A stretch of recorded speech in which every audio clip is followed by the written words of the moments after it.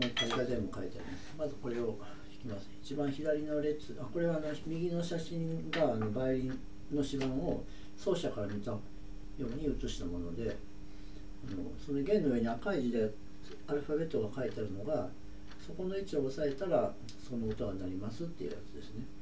それでも一番上のに書いた GDAE っていうのはこれは何も押さえない場合の話。何も押さえなかったらその弦は G の音が出るということ。です GABC っていうのはあの英語で書いた音名のことで、まあ、ドレミアソラシドっていうと解明の方をドレミアソラシドに使う方が、まあ、そういう使い分けがあるみたいなんで音名の時にはこのアルファベットで書いたりするんですけどまあでも慣れてない場合にはまあドレミアソラシドってまあ使うこともあります。で今一番左側の弦 G 線って言いますけどそれがあの表の方でも G 線同じところに一番左側の列に縦に並んでる列ですね。それが G 線の音です。で表の方には数字が書いてあるんですけどこれが音の周波数を表してて数字が大きい方が周波数が高くて高い音が出るということです。だから G 線の一番上の 196.4Hz がこの一番小さい数字でこれが一番低い音で一番高い音はだんだん G 線でだんだん手前に行くほど大きくなってきて一番手前の数字と次の右の列の D 線の一番上の数値は同じだと思うんですけど、まあ、これは同じ音同じ高さの音が出るんですけどそこの行ってそこからまた手前にどんどん数字が大きくなっていて次に右の A 線という列に行ってまた手前に行くほど大きくなっていって最後に一番右側の E 線の列に行って一番手前の B という書いてまあこれは C なんですけど 994.5Hz これが一番高い音ですね、まあ、これはあの 都庁長であの第一ポジションだから腕をあんまりずらした腕をシフトしないで親指を同じところに置いたまま まあ弾く場合のえっと同じところで一番向こう側に置いた場合にく、まあ、それは第一って言ってますけど第一ポジションで弾く場合の全ての音がここに書いてあります。でこの表とこのバイオリンのこの弦の位置は同じ同じように書いてあるんでそれでイメージしてもらえばいいんですけどあとはこの表に書いてある数字と右側に右下にある中側の右上の数字が周波数なんでそれと比較して音がちゃんと出てるかを確認しながら練習します。まず音階を全部弾いてみますね。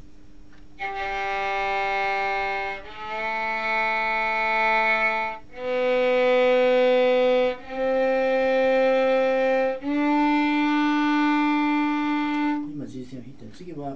まあ、D 線の今開放弦もう一回弾いてみると、同じ高さの音が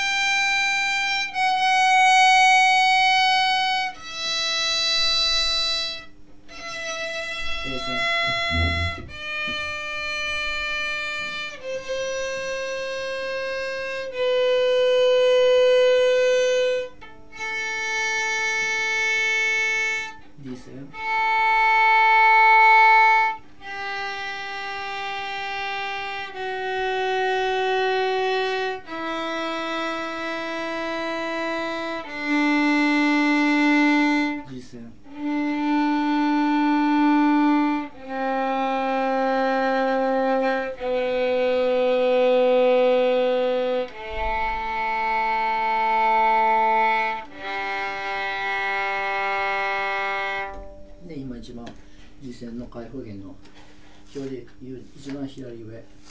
まあ、写真でも一番左上のところですね。そこまで戻りました。これ今音階を全部音を弾いたんですけどこれを飛ばし飛ばしで弾くのがあの奥野さんは、まあ、飛ばし飛ばしといっても和音としてあのいい音の組み合わせみたいなのをやります。今の順今と同じように低いところから高いところまで行って戻ってくるというのをしますけど今度は飛ばし飛ばしで、と、1個飛ばし1個飛ばし2個飛ばし1個飛ばし1個飛ばし2個飛ばしというふうにいきます。音としては、まあ、ドレミで言えばソシレソシレソシレとなります。あの普通にあの何楽天とかで習った人は知ってると思いますけど別の言い方すればえっと、単3度超違う超3度単3度完全4度という音の離れを順番に繰り返していきます。長酸炭酸の感じやの長酸の炭酸の感染感染これはやりますね。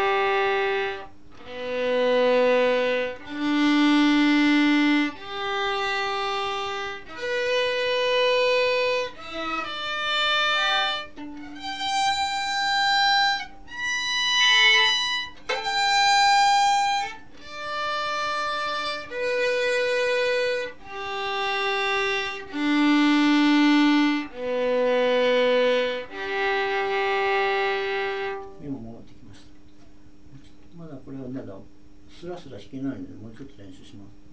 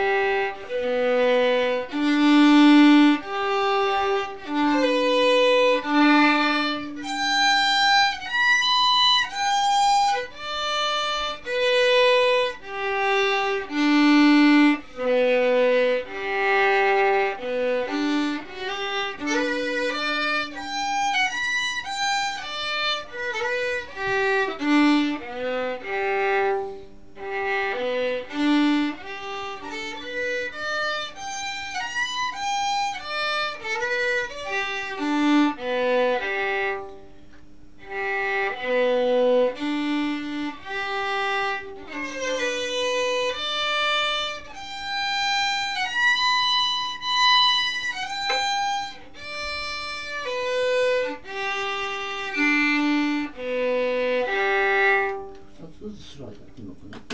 一番高い歌を繰り返すことにして。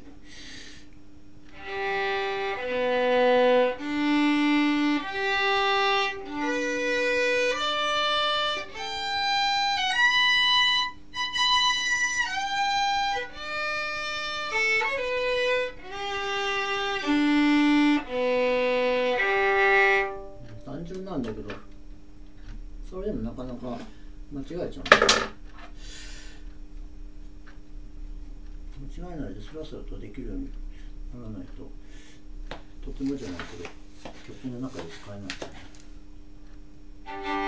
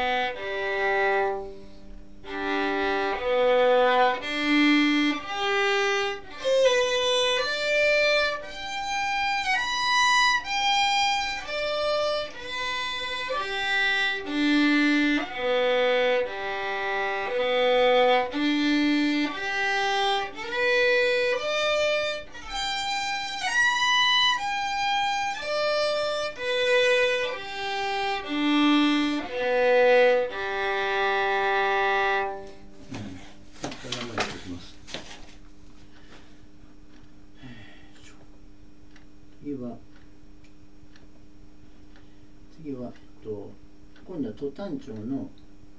今度は普通の音階練習。次曲で最後に曲でこれを使った曲を弾くので単調さっきと同じ表ですけど数字がたくさんあるのはこれ単旋律単音階の練習をするので上高音と下高音の場合で上高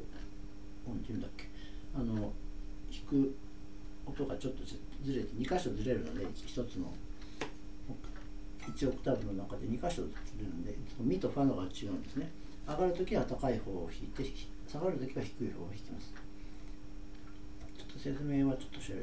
これサードポジションでやります。で D 線の G の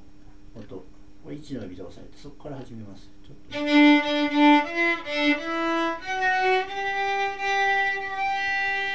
れですね。これを1の指で押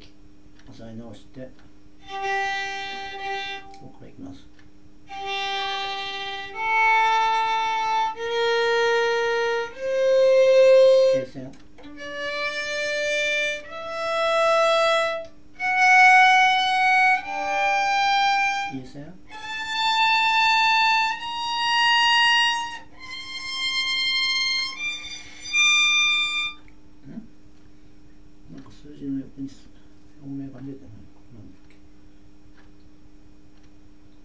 か間違えた。ちょっと表を作り直した時になんか間違えたんですね昨日の表を見ると。昨日のもおかしいのかちょっとこれ後で確認しておきます。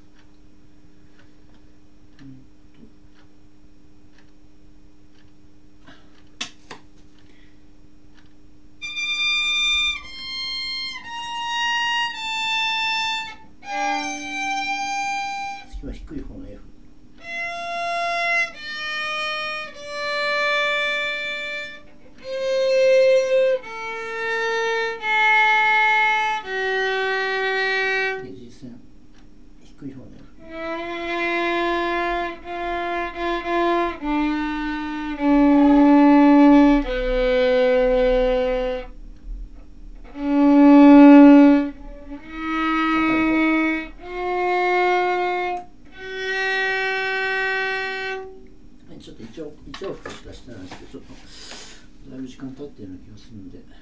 これでいいにします。